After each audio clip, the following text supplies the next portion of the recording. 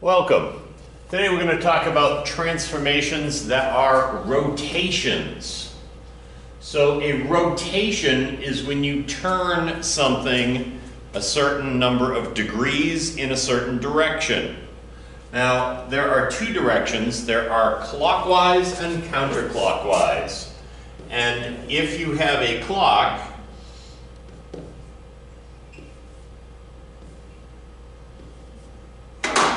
clockwise goes numerically around. Counterclockwise is the opposite direction. So from the top to the right is clockwise,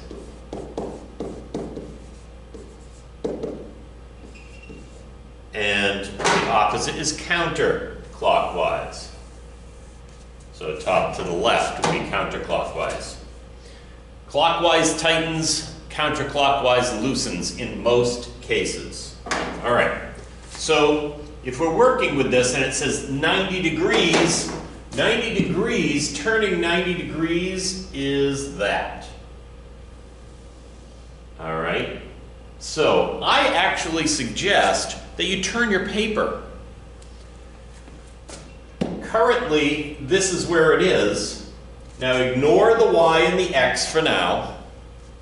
When you turn it clockwise 90 degrees, where does L end up? It ends up at 1, negative 1. M ends up at 1, negative 2. N, these are prime by the way, N ends up at negative 2, negative 1, 2, 3, 4, negative 5, negative 2, negative 5, and K, which I should have put at the top, ends up at negative 3, 0. Now when I turn this back, and I plot these points, 1, negative 1. Uh, let's see, that was L prime. M prime is at 1, negative 2. N prime is at negative 2, negative 5. And K prime is at negative 3, 0.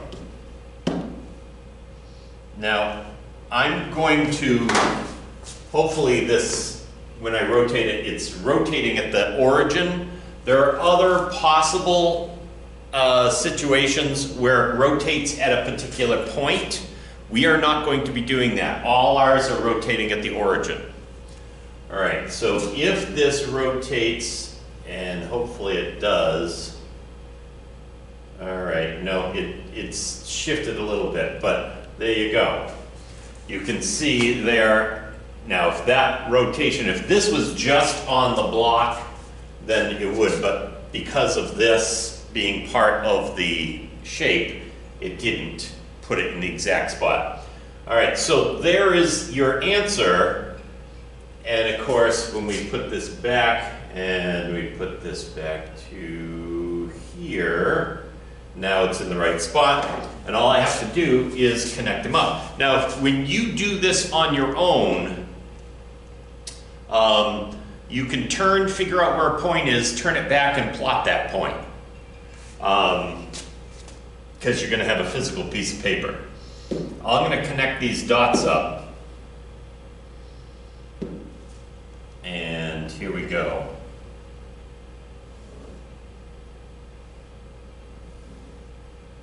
And there is our answer, and we know it's correct. So that is how you do rotations. There's a clockwise rotation.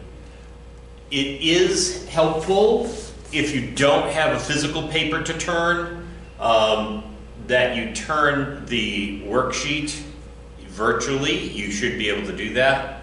Um, and then make a list of the points and where they end up, and then turn it back and plot those points. Okay, so give this one a try on your own and unpause when you're ready.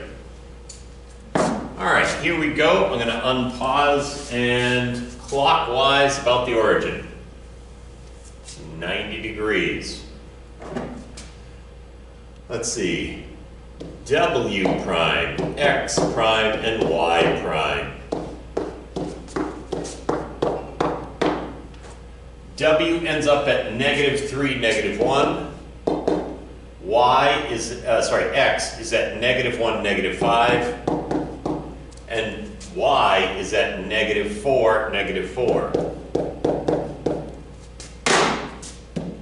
I'll move this back. Sometimes they just ask what quadrant it'll end up in when you rotate it. Um, and you can see this is going to turn it this way, so this is going to go that direction 90 degrees, so it ends up in the third quadrant in this case. All right, W negative 3, negative 1. Uh, let's see, X is negative 1, negative 5, and Y is negative 4, negative 4. Connect up.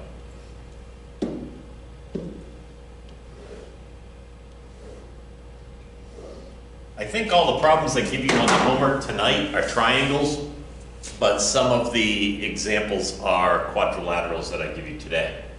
All right, let's look at the next type, counterclockwise rotation 90 degrees. Same kind of thing, but turn to the left instead of to the right. All right, so I'm gonna do that with this one. I'm gonna turn it to the left and figure out where it is. Let's see. Um, J, I, J, K, L. I, J, K, L.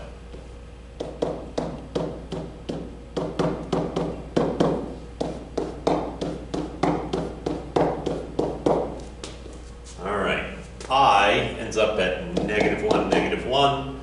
J, negative 5, negative 3. K, negative 4, negative 5. And L, 0, negative 5. I move it back and plot those points.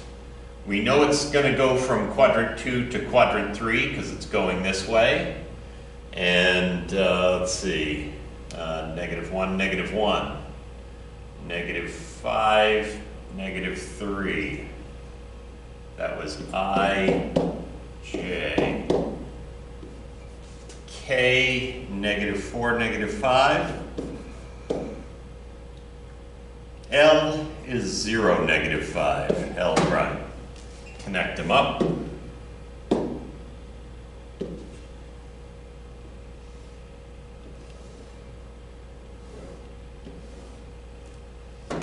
There you have it. Give this one a try on your own. After you unpause, I'll show you how to do it. All right, here we go. Counterclockwise. Ooh, gotta grab the right spot. Um, let's see. G H I J. G H I J.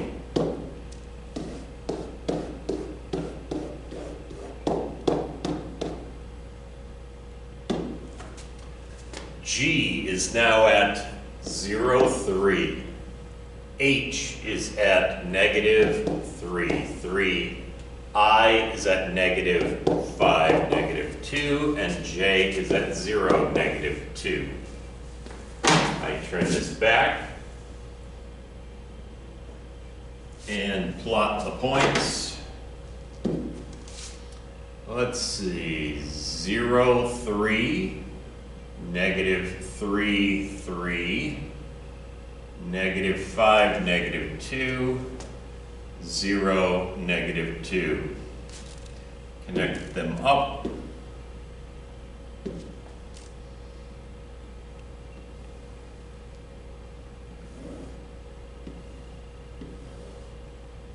Oh, that one was off. How'd that get so off?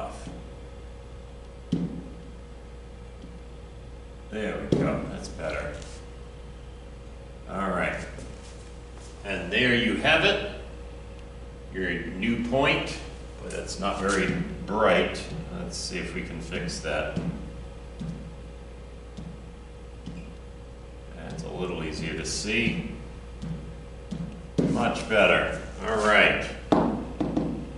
And there's your new um, image. Now it says 180 degrees. Uh, which direction? And the answer is it doesn't matter. Because whether I turn this 180 degrees here, quadrant one, or I turn it 180 degrees this way, still quadrant one. So it does not matter which direction you rotate it in if it's 180 degrees, or 360 degrees for that matter. It'd just go back to where it started. All right, so we're talking about I, J, and K.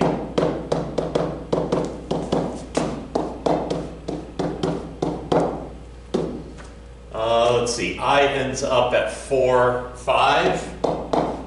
J is at four, zero, and K is at one, two.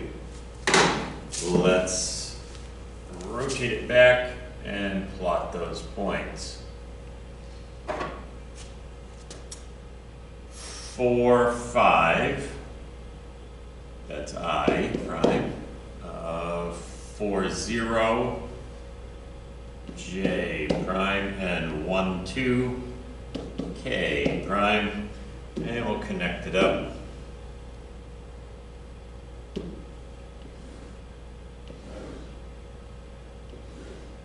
And there you go. You give this one a try, and that'll wrap us up for today. All right, we'll check this out, 180 degrees. Uh, G, H, and I.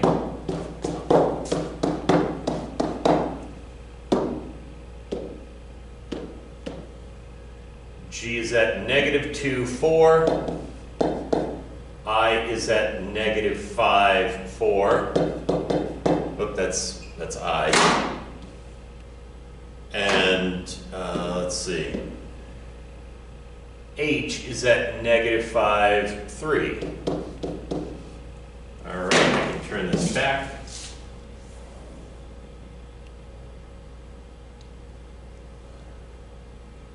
Wait, it's fussy. Close enough. All right. Negative 2, 4, negative 5, 3, and neg, oops, that's 2. Negative 5, 3, and negative 5, 4. And now we'll graph our line.